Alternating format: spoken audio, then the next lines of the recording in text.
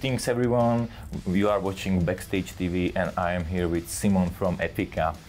Hi Hello. Simone, thank you for joining us. How are you today? Feeling good? I'm good, yeah. The tour is going really well and we're having uh, the best time. Happy to be here. It's going to be a big show, so I'm excited. What can we expect from Epica tonight? Well, we've been uh, working on making our show more visually pleasing. We have a really beautiful um, LED walls behind us that gives the show a little bit more 3D feeling. And of course, we always bring a lot of energy, fun, and uh, we try to play the songs as best as we can. What about the playlist? Some new songs? Is it some best of? Or how does, how does it look? It's a little bit uh, a mixture of the classics that we always do, but uh, this is the official Omega promotional European tour.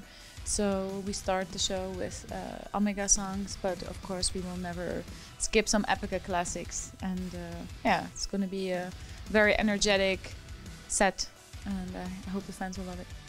Uh, do you feel any difference between the audience, you know, different countries, or even, you know, Europe or America? Do you feel the difference between the audience? Yes, yes, yeah, definitely. Also within Europe, I think the difference is not as as big as if you were to compare Europe to, for example, Latin America. That's where they really go uh, wild. But sometimes you don't know what to expect because, uh, um, for example, within Germany, depending on where you play, the audience can be different. So it's in the same country, but it still can be different. And um, yeah, I'm. I think tonight's going to be a really big show, and so far I always love playing here. So I think tonight's going to be wild. Can't wait. Do you have any special memory from Czech Republic? You have been here many times.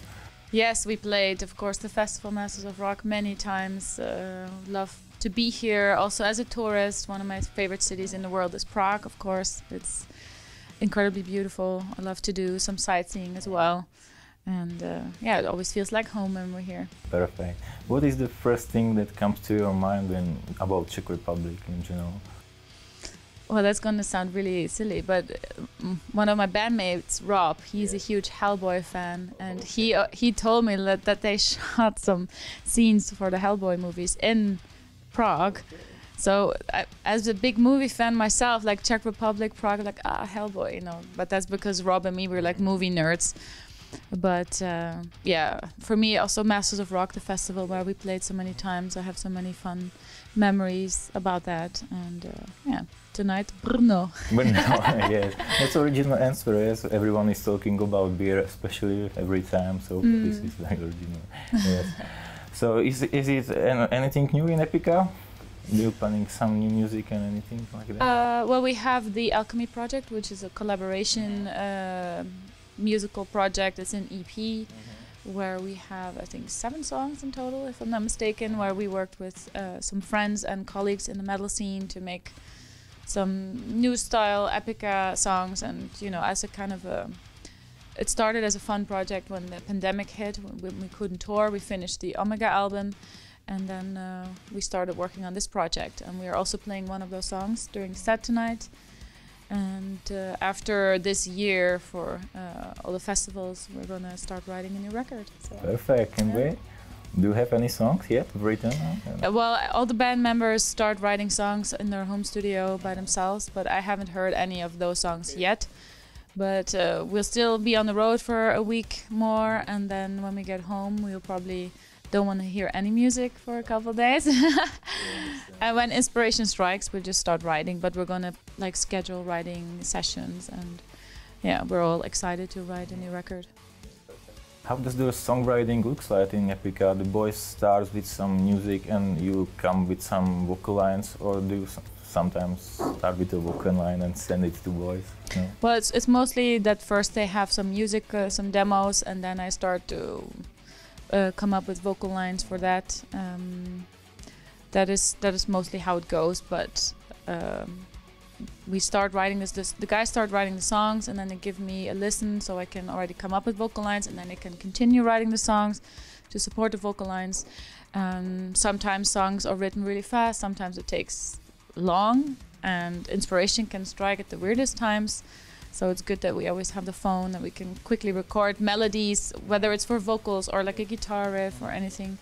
And um, yeah, everybody has a home studio, so it's very practical to quickly record ideas, and then we get together um, because we live in four different countries. We don't live in the same village, and then we actually sit together and write the songs, uh, finish writing the songs. So yeah.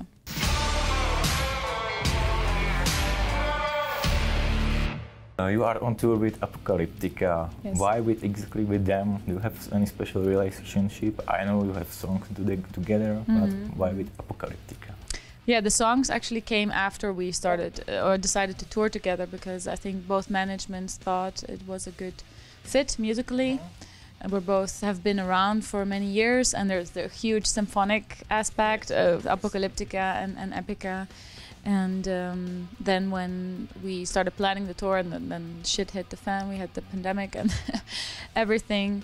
Um, then we started thinking, oh, maybe it's nice to do a song together, and we tried. Uh, a couple of songs to come up with like a cool uh, collaboration and in the end we decided to go for the song rise which is already on their released album and then Eicca um, wrote vocal uh, wrote um, the lyrics for it together with his girlfriend and um, the melody of the song the vocal lines and the verses are already set they're played by the cello so I I adapted those uh, vocal lines and then I started to write like a new melody for the chorus and uh, a little lyric at the end. and then Rise Again was born, and then we thought, oh, we have to do a video. But I was on tour with Sabaton in North America, and then um, the videographer uh, or the director um, they work with, she is from there.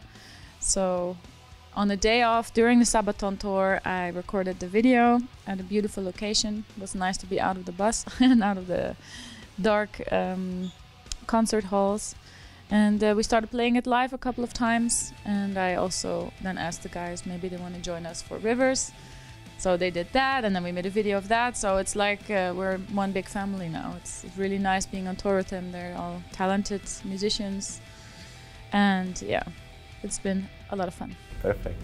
I ask this every singer, and the answer is every time different. So, uh, do you have any warm up exercises for your voice, and how do you keep your voice? You know, during the tour, it's very difficult to sing every day. Mm. Well, it's not difficult for me to sing every day. For me, the difficult part is to get enough sleep because um, I'm like a light sleeper. So in the tour bus, where you have 17 snoring guys, uh, so I sleep. I have first of all make sure I sleep good. So sleeping earplugs, eye mask, sometimes a sleeping pill to help me sleep. And um, if the snoring is too loud, I have my in ear in my uh, ears with like a white noise to cancel out all the snoring symphony. Um, we have a couple of really bad snorers in the bus. So if I have a good night's sleep, then my voice is anyway in a good condition. And before the show, I like to. I'm always very calm. I do my own hair and makeup, and then I get like in the mental state of performing. And I do a couple of scales, singing up and down. Um, not a very extensive warm up. I do some also some warming up of the body. Um, make sure my heartbeat is a little faster. So by the time I go on stage, I'm feel already a little bit pumped. You know, I have my special tea. I have like throat uh, pastilles that I love to have, even during the show. And sometimes I take like a little Dextro energy sugar to like give me that extra extra thing. Uh, yeah, that's it. It's quite boring. Okay, thank you for the answer. How hard is for band like Epica to tour these days? You know, after the pandemic, I heard some bands it's almost impossible to tour. How hard is for Epica to go on tour? you know? Well, I think after we started uh, last summer, we we first went to Mexico to do a tour in May, and then we did a lot of festivals. What I noticed was for us that the the traveling was more difficult. Like all the airports were were a mess. So um, like canceled flights, delayed flights, being stuck at airports, uh, having weird flight connections. So it, it was a little bit more stressful to travel. And of course, in the beginning, everybody was scared. So should we wear masks? And we had to skip first like um, uh, VIP meetings in order, you know, to minimize the risk of getting sick. Um, yeah, so um, we all had Corona already. Luckily, not while we had to tour, so when we were home. And um, overall, I think we were really lucky that we could still do many tours, the festivals, and uh, that we can still do what we like. Of course, now the pandemic is changing into another tragedy, uh, worldwide crisis. So it's we've faced one challenge, and now the next challenge is that all the prices are going up, um, and slowly people might not be able to afford going to concerts anymore, or concert halls having to shut down because they can't pay electricity. But I think in the end, still the music is what keeps people going and keeps people motivated, and uh, it's it's a powerful tool. It unites people, and it's it's beautiful. And I think people will always still want to hear music and come to concerts and yeah, I hope that will stay like that for a long time.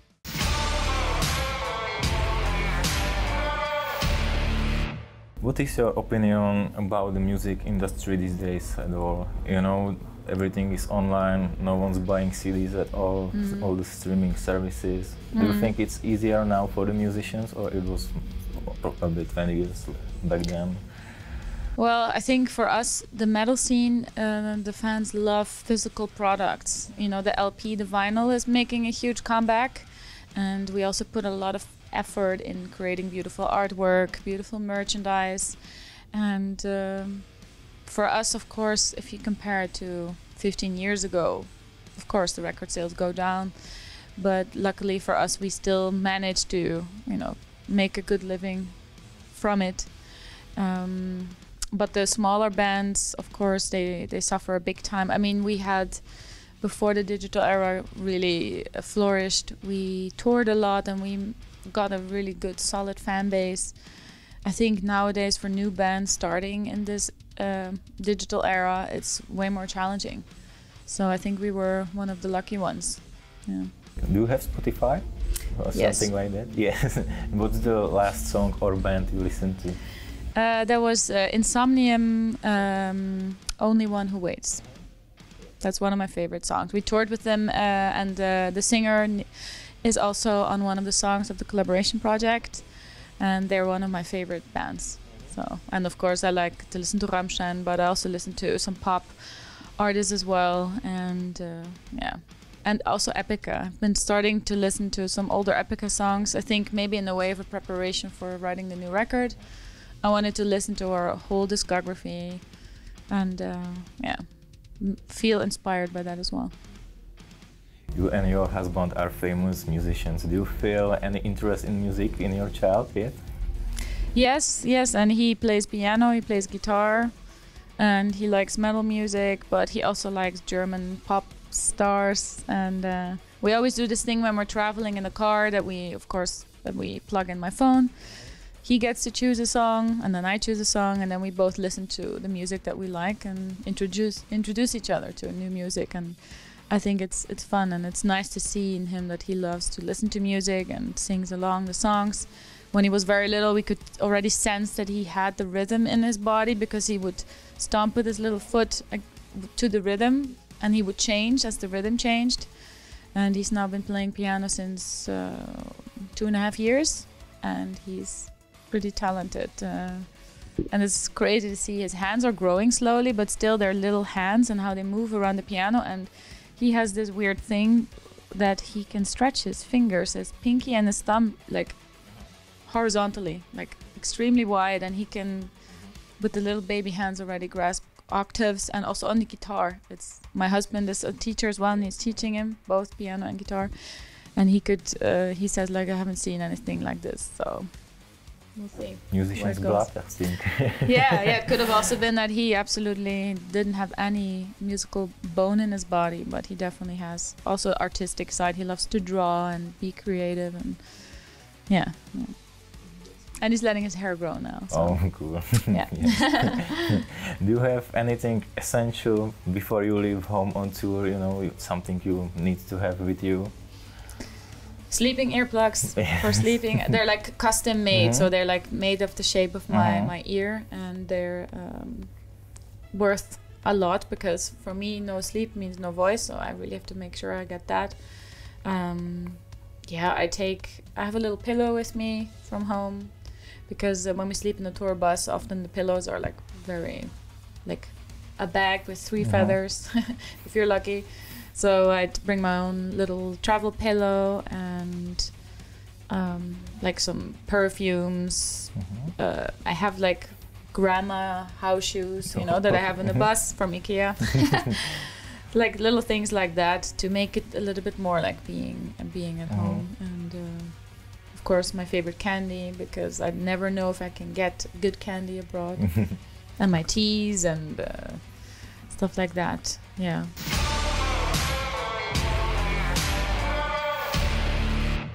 How do you spend the time on tour? Sometimes it's very boring, a lot of waiting. How do you spend the time? And, I'm never bored. I, I always have find something to do. I love to watch movies or I love to hang with the other guys.